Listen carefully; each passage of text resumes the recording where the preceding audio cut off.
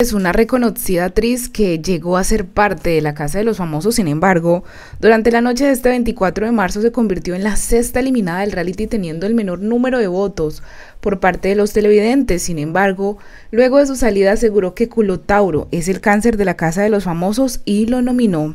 En medio del shock tras su eliminación, las pocas palabras de Natalie fueron que se sentía tranquila y salía a vivir su realidad en medio de esta situación. Carla, como es de costumbre, preguntó sobre a quién dejaba nominado, eligiendo a Culotauro, quien fue líder de la semana. Por supuesto, Umaña tuvo que dar diversas razones detrás de su decisión, resaltando: Siento que es el cáncer de la casa y como cualquier cáncer hay que erradicarlo antes de que haga metástasis y se lleve a toda la casa. Fueron las declaraciones de Natalia Umaña.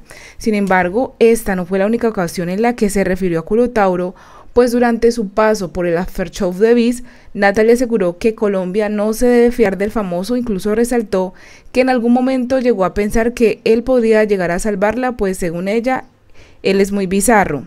No se me hace extraño porque está tan loco que hasta de pronto lo admiro porque admiro su capacidad de improvisar, el humor que tiene, pero a veces pienso que se queda sin herramientas con ese humor.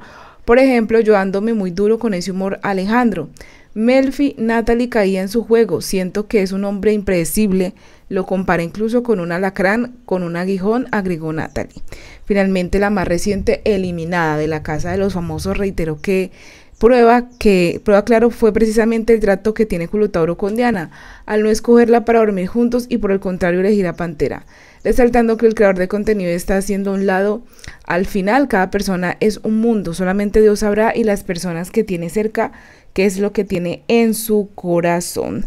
Se sabe que estos dos desde el principio no se han llevado bien, se han dicho fuertes palabras y ahorita Culo Tauro pues está sentenciado, quién sabe si reciba el apoyo del público. ¿Qué opinan ustedes?